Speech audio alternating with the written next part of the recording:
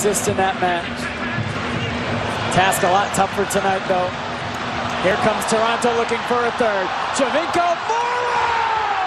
Onside, it's three for Toronto. A brace for the left wing back, Justin Morrow. The edge, you can see all little tricks, all little flicks.